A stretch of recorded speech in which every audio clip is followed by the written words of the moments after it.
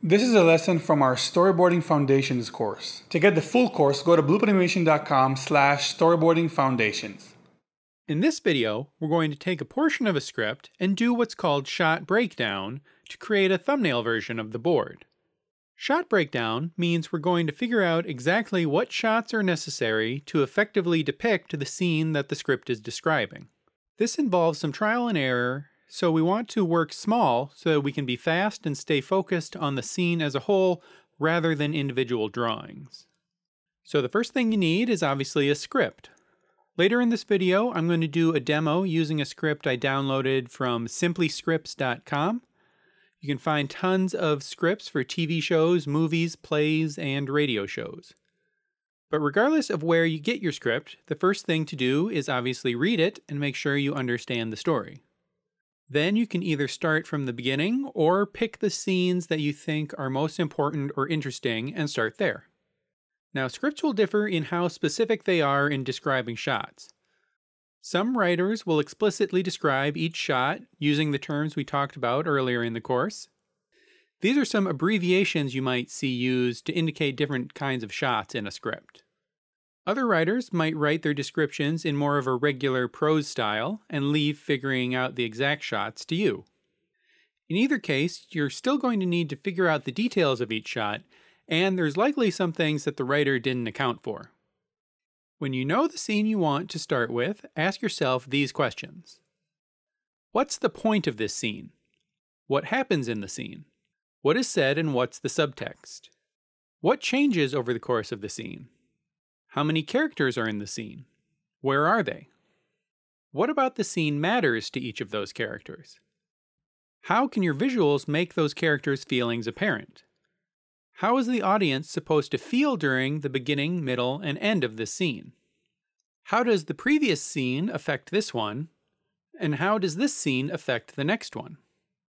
And also, from a practical perspective, Know the limitations of your production process so that you don't make boards that are unfilmable. For example, if your camera team doesn't have access to a crane, don't put in crane shots. And if you're working in animation, certain angles might be more difficult to draw and animate in. And in limited animation, there might be a predefined set of angles of the characters that are meant to be reused. Ask questions and figure out what is expensive or ambitious within your production, and only include those kinds of shots if you can really justify them from a story perspective. Also, as you read the script, make notes of any visual elements or moments that are key to telling the story, so you don't forget them when you're in the middle of boarding. So, for our example, I've picked out this script for Will the Real Martian Please Stand Up? This is an episode of The Twilight Zone from 1961. I got this from simplyscripts.com. I've included it in the exercise files for the course, so go ahead and read it now. Now, for the real 60s Twilight Zone, we'd have to assume the production was fairly limited with everything on sound stages, and it would also need to be a 4x3 aspect ratio. But for this exercise, I'm going to assume we're making this in modern times in HD and we have a little more resources to shoot on actual locations.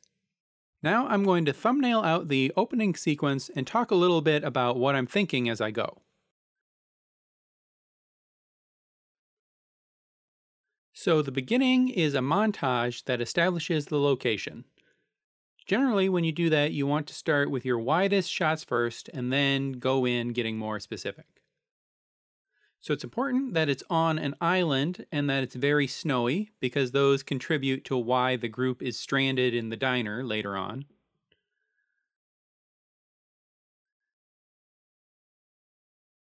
Now there's this spaceship that crashes, but the script doesn't say that we see the object that crashes, only that we hear it. But I wanted to use a little light reflecting off the ice of the pond to give a little stronger sense that something strange is coming close.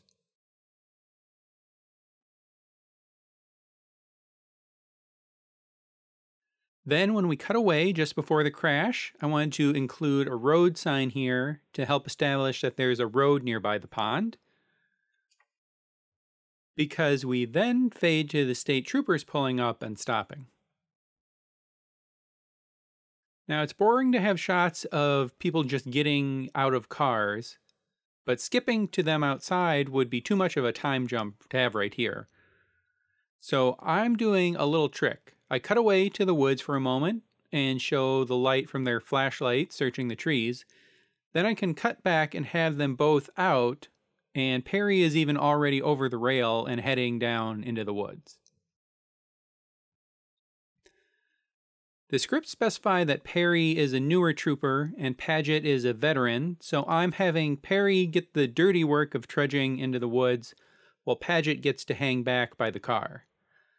This is also helpful because Padgett needs to use the radio in a minute, so this way he's right there and we don't have to spend shots getting him back. It also adds a little tension to have them separated like this. Now I'm trying to generally be consistent with my relative screen positions for the two characters, but the most important 180 line that I'm trying to stay aware of for this scene is the line from the car to the pond. With this wooded area where it's hard to see any landmarks, you've got to rely on your screen direction to keep the audience oriented. I'm thinking about camera moves a little bit, but we can be more precise with those in the full-size board.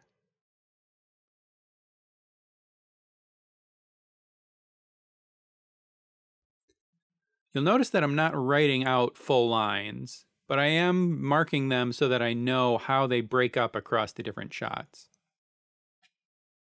So this is a good example of why we need to do shot breakdowns. At this point in the script, it just says Perry discovers tracks in the snow. That's a simple idea, but what does that actually look like? What shots show that? The way I'm doing it here is that I have Perry trudging back and we see him spot something. He scans it with his flashlight to show us that it's fresh footprints that he's seen.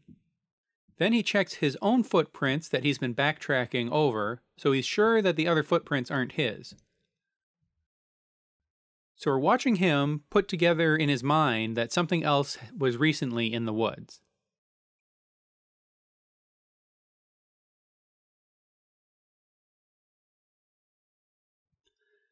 Then later on, he uses his flashlight and we use a camera pan to show that the prints lead back toward the pond. You'll notice that I've actually started using green and red pen to indicate camera moves. Green for the starting position and red for the stopping position. You should also label them A and B and draw arrows from corner to corner showing the direction of the move, but that's only really important on the final boards.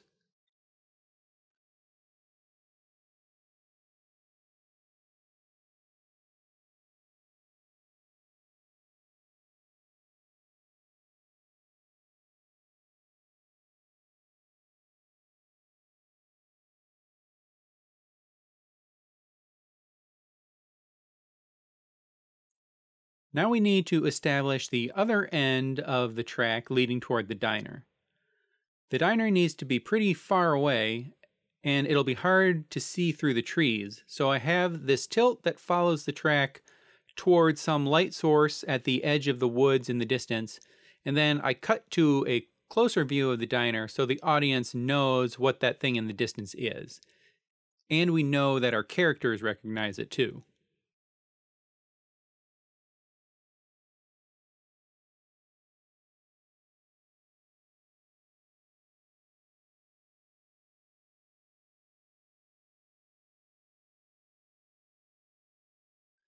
And then here we come to a cool thing they would do on Twilight Zone. At this point in the episode, you have a narrated intro by Rod Serling, and they would have him in the scene somewhere, but the characters would just not be aware of him. So I'm doing this long pan that initially follows the troopers, showing us they're headed in the direction of the diner, but then it stops on the narrator as they walk past him. Then it's just a slow truck in as he gives that big paragraph of narration.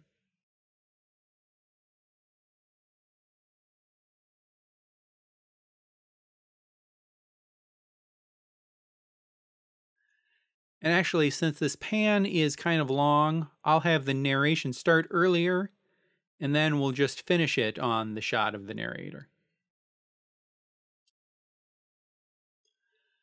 So once you have your quick first pass done, try to put the script out of your mind for a moment and look over your thumbnails and try to experience the story fresh based on your visuals.